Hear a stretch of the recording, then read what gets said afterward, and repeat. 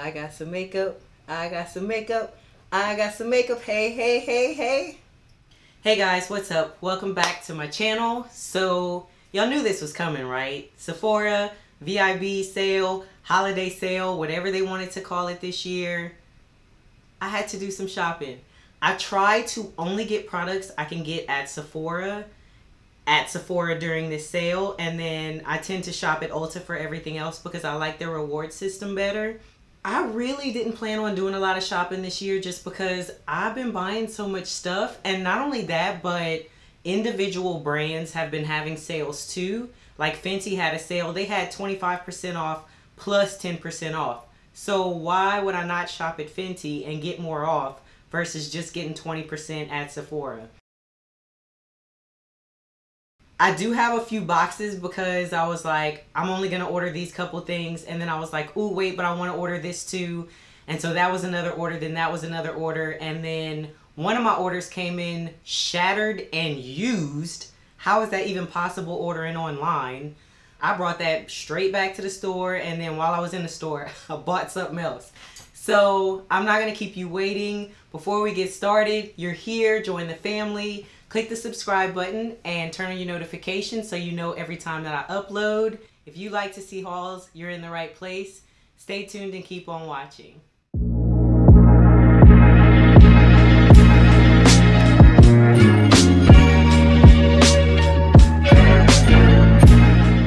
So I'm just going to start off randomly picking up as we go. Start with this little bag. Y'all, how long has this product been out? How long? Ask me why I'm just now picking it up. I'm going to tell you. Because I wasn't going to get it. I have several Natasha Denona palettes. I am not normally a cool tone girl, even though I like this little look I have going on today. And I was just like, I'm going to get the ColourPop Stone Cold Fox palette, and I'm going to stop there. When I tell you I am so obsessive compulsive, and when I get fixated on something, it is just a whole process. I bought the Stone Cold Fox palette. And then I was like, well, now I want to try other cool tone palettes. So I went and bought the Milani Soft and Sultry palette. And then I bought the Beauty Bakery Breakfast in Bed palette. That's this face today. And then I was like, you know, we're just going to go ahead and get Natasha Denona because I know I love her shadows. And it's pretty. Like I watched all the videos, I watched all the tutorials and I was just like, you don't need it. You don't need it. You don't need it. I don't need any of this. But I wanted it and I couldn't stop thinking about it. And then it went out of stock. And I couldn't find it at the store near me. I couldn't get it online. So then that sparks this, oh my God, I want it, I want it, I want it in me, which is absolutely ridiculous. I acknowledge that. I ended up finding it in stock at one of the Sephora's in like the one of the biggest freaking malls in Houston, the mall at the Galleria, and I was just like, I hate that mall. I'm not going all the way over there for an eyeshadow palette. And then I went all the way over there for an eyeshadow palette. So I now have this, and I'm gonna do a comparison to see how these colors look with some of the other cool tone palettes I have just to see. I'm going to keep it. It doesn't matter, but I just want to see how it compares to the others. So I officially now own the Glam palette. The next thing I picked up was this Tatcha Pore Perfecting and Protecting set. It is a $52 set and I picked this up because it has a cleanser, the water cream, the liquid silk canvas, and the Kissu lip mask. I picked this up for the silk canvas primer. I wanted to try the liquid and the liquid by itself is $52 and so I was just like well I can get this whole set and try some other stuff that I know I love for $52. I have a lot of primers that I love already so let's try the whole set. This is cute versus just spending $52 on one product. I will finally get to try out the Silk Canvas Primer, but I was really excited about this lip mask too. I love getting little minis like this because it's very rare that I go through a whole product. Y'all know I'm struggling to get this out the box. This is the sample size of the Silk Canvas Primer. I'm not pumping this on my hand because I'm not wasting it. But you will see it in a video. And then I've had this water cream before. These little minis I love getting because I put them in my travel bag. And then I'm to do the same with this lip mask because I currently do not have a lip mask in. I have a lip balm but not a mask. So this is going in my travel bag. And then I have this cleanser in my bag and it's almost out. So this is perfect. The next thing I got was this Marc Jacobs The Glow Show Hydrating Skincare and Makeup Essentials. This was, I want to say almost $70 and it was on sale for like $35 or $39. I'll have everything listed and the 20% off. I love going through the sale items during the sales because then it makes me feel even better about buying high-end stuff. This comes with the Undercover Blurring Coconut Face Primer. So there's a sample size of that. Then it also has a full size of the Marc Jacobs lip gloss in the shade Sugar Sugar. So that's what this looks like. This is just like a very milky, I don't know why I thought this had Oh, I guess it does have a little bit of sparkle in it, but you can't see it on my hand. But that's what that shade looks like. Then it also has this mini Do You Dew Drops. This is their coconut gel highlighter. Swatch a little bit of this. that's pretty. Very shiny. Since y'all know I've been into all my dewy products looking glowy like I am right now. I think that's going to be very pretty. And then it also came with a full size of this Marc Jacobs Youthquake Hydra Full Retexturizing Gel Cream. Deeply hydrating, powerful pineapple enzymes. Your glowy complexion starts here.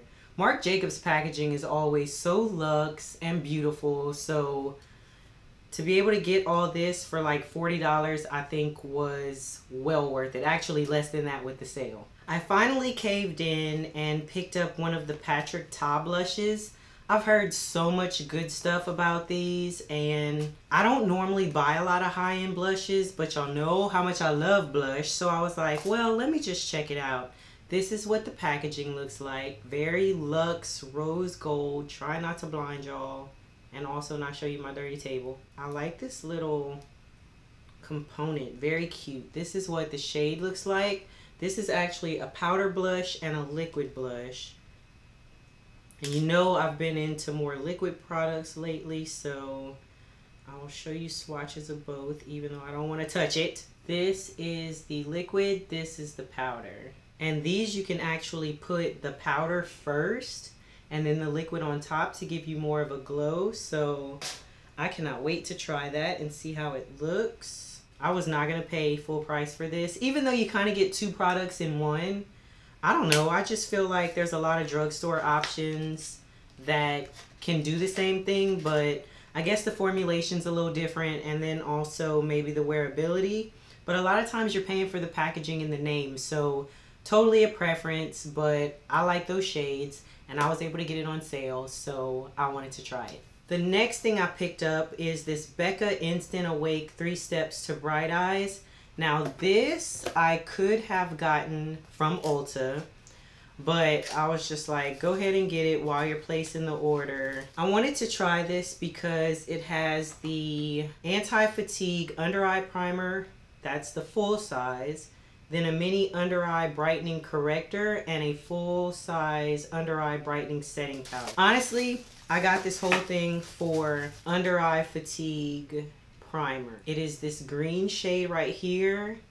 And I heard Mel Thompson talk about this. I have been having issues with my under eyes looking a little dry and not sleeping well. So I was just like, she says she can't live without this. So I thought it would just be something nice to try. Packaging is also really, really cute. Nice clear component. And then there's this mini of the corrector. This is probably too light for me anyway, so I'm not mad that it's a mini, but it's a peach. So it helps to correct your under eye circles. You always use a peach to correct any darkness, but this ain't my color peach.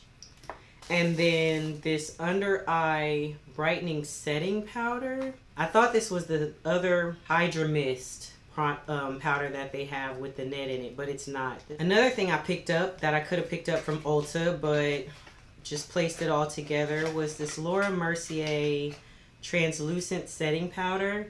Now, this one is the honey shade. I already have the regular translucent one. I have re-fallen in love with that one. And it is translucent but borderline white.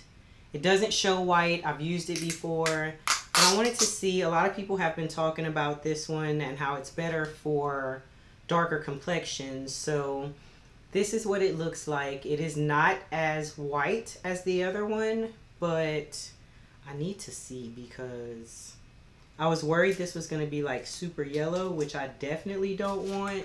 Mm, this is what it looks like. I don't know if you guys can see that. It's a little yellow, but I don't think it's going to be too bad. It kind of reminds me of like what I used. No, I think it'll be fine. If I pile it up right now, that's what it looks like on my hand. So it doesn't look super yellow at all. I think this will be good. I picked up, okay, we all know how expensive fragrances can be. So, of course, anytime I can get them on sale, that's really the only time I buy them. I already have quite a collection. I love warm florals. I love clean scents and warm florals.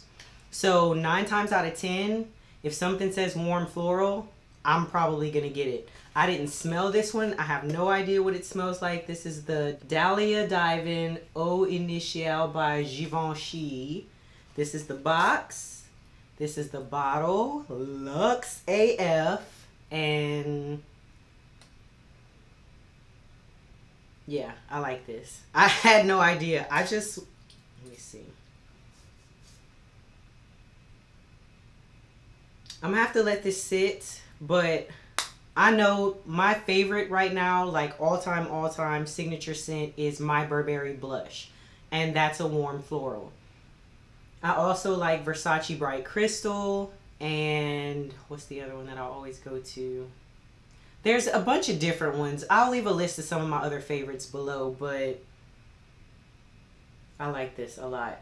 So this is, what size did I get? This is the 2.5 fluid ounces, regular $93. It was on sale for 69 and the 20% off.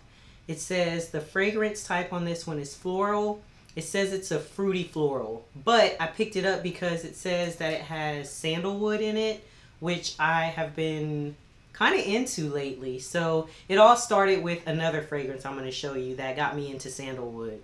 Yeah, it says keynotes, jasmine, sandalwood, and magnolia and it says that it is sensual and it has a magnetic elegance of woods and musk. I do like musky smells as well. Not musty, there is a difference. Musky. So I like this fragrance. I don't know that it smells like anything else that I have. I'm gonna have to smell and see, but definitely glad I picked this up, especially for such a steep discount. So the other fragrance that I picked up is this Maison Louis Marie number four, Bois de Balincourt. Now this, I was, I heard about the scent Santal 33. That shit's expensive. I told you guys about how I have my diffuser oil that is a dupe of that. So I, my house, my the front of my house smells like it. And then I found out about this, and so I was like, let me just go in and smell to see if it smells like it. It does. This smells just like Santal 33, and yes, I can tell you that because I have smelled the original. The original bottle is $200. I, I can't. I can't. I have too many perfumes, and there's others that I like. This is a different scent. But this one, if I tell you the notes on it, says that it is Sorry, gotta look it up. It says earthy, woody, warm woods. So warm, Barbara likes it. Sandalwood, vetiver, and amberwood. Doesn't sound like anything I would normally like, but it's just something so sophisticated and sexy about this scent that I was like, I'll pay $28 minus 20% for this, but I'm not paying $200 for the big bottle.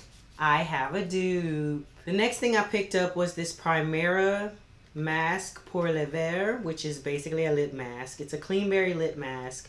This was in the sale items, I think for $14. So I just picked it up to try it. This is what the box looks like. I am on month three of my Accutane, so I am still having a lot of dryness and peeling. So I'm picking up every lip mask I can get my hands on, especially if I can get it on sale. This kind of looks like Vaseline. Doesn't smell like anything. Oh, it's not as... I showed you guys the Le Monde one that I picked up a while back. This has the same kind of texture except it's a little stickier and it's thicker. So it's not as creamy as the Laneige lip mask. Ooh, this is sticky. It kind of reminds me of the Bite Beauty Agave lip mask in terms of how sticky it is. It doesn't have a scent though. It says sea berry for nourishing and muru muru butter for barrier protecting and it is plant based. And then I picked up three of these brushes. Y'all know I love concealer brushes for blending out my concealer under my eye. This is supposed to be a magnet, but it was $10 on sale for $5 and then 20% off. And it had really good reviews. I like the color. It's like a rose gold and a silver. And I think there's like a magnetic holder that goes with it, but I didn't need that. I just wanted the brush. Ooh, that's pretty. So this is what it looks like. So it's like a rose gold that fades to a silver. And it's slightly angled. Like I said, it had good reviews. It was on sale. I got a few of them. We have three more items. The first one, this was honestly just an impulse buy. This is the Natasha Denona Contour Sculpting Powder. I saw it and I was like, I didn't know Natasha went that deep. I looked at it in store and I was like, maybe it's going to be really sheer. This is a lot deeper than what I remember seeing in the store, which I ain't mad at because it is very hard to find deep powders for us, but she is deep. That is it right there. And I just barely swatched in it. So baby, these cheekbones are about to be chiseled because that's dark. That might be too dark. Okay, Natasha. I'm definitely to try it soon because if it's too dark, I'm to exchange it and get the get a lighter one. This was the darkest shade that they had. I am super excited that I was able to get this. This is the Melt Cosmetics She's in Parties palette. Y'all know I love purple. Melt Cosmetics. I only have, make sure I ain't lying, I'll have two. I have their Rust stack, I believe. Mm, I don't think it's the Rust one because it's the one with the black in it. I'll have to double check the name of it. But I have one of their stacks. And then I bought the Impulsive Pigment Palette. And I haven't even used that yet. We're not going to talk about that. But this palette just, y'all know this spoke to me on so many levels. And I think because it's a little cool toned on top of it being purple, that's what kind of made me pull the trigger on it. But y'all, when this came in the first time, this shade was shattered and this shade was cracked. This palette is $48. I brought it back and you can't get it in store so I had to order it again and wait and pray that this one was going to be okay. I don't know what was up with that. The other thing that I ordered that I brought back, I ordered the Natasha Denona Tropic palette and I I just I've looked at that thing. It was on sale. It's normally 129. It was on sale for 64, 50 or whatever. And I was like, "You know what? It's on sale and 20% off. you don't make no sense, but let's go ahead and buy it. And then it came in and two of the shadows were either swatched or somebody had stuck their brush in it. And I could tell it had been open because these little tabs right here, this was actually tucked in the box with the palette. So I'm gonna need y'all to take that back. And I was like, you know what? That's a sign that you didn't need it anyway. So I did not buy it again brought it back to the store, and left it there. The last thing on the list. First of all, thank you for this packaging because this is too damn expensive to have to worry about it coming in broke. I picked up the Natasha Denona Triochrome palette. Now, real talk, I don't know if I'm going to keep it. The reviews that I've watched, looking at the shades, I just I'm gonna have to play with it and see because if I don't if I don't feel like I'm in love with this for it to be $130, $129 minus the 20%, I was not gonna spend full price on it. Of course, the triochrome, triochrome, multi-chrome shades in the middle, that's what drew me in. But I just feel like these shades are kind of light for me. So I don't know. I know I can make them show. I know how to finesse eyeshadows to make them work. I just don't know if this is worth it. You know what I'm saying? I hope that makes sense. I'm going to play with it. I know y'all have seen this already, but I'm going to swatch a few. This is Ion, which is that neon yellow. Then Andradite. These are all on the top row. And then I'm also going to swatch Redox, which is one of the purples. And then let's go whoa, with Diatonic. So these are all the mattes. So this is Diatonic. That's not that bad. Then this is Ion.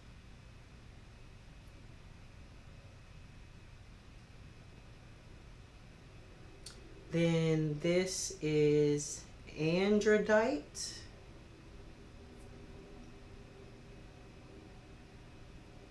And then this one is redox.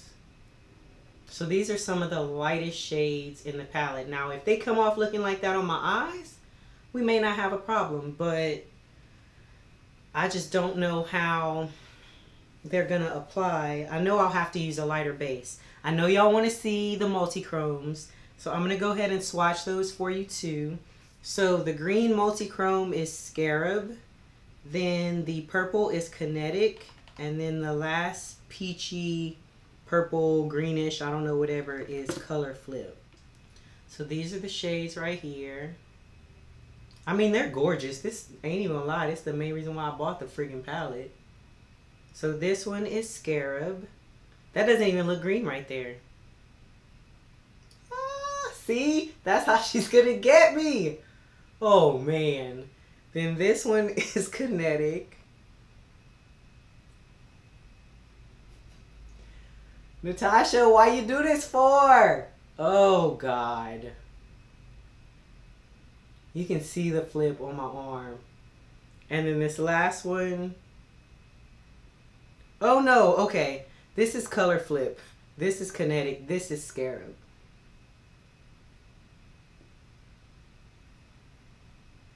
Guys. I mean, you... Y'all know I'm to keep this palette, right? We'll see. We'll see. I do have a confession. I brought back Pat McGrath. It was hard. It was really, really hard. But the fact that I already have the Star Wars, both of the Star Wars, I would have been keeping an $80 palette for two shades because it was literally only the two duochromes that I was like, gag, I need these. I just, I couldn't, I couldn't. Now, if it goes on sale, I'm still not.